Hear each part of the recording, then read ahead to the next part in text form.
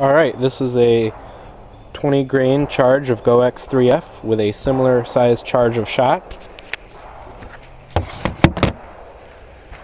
Hmm.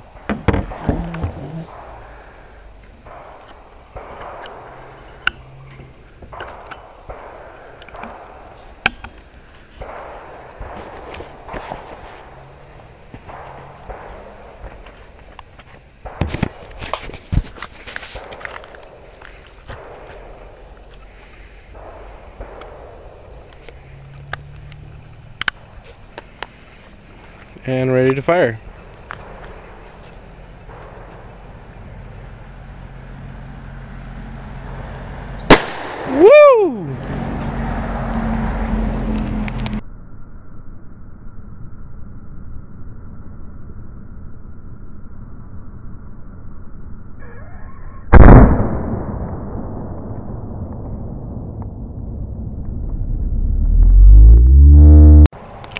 And the aftermath is one rather unbroken gun.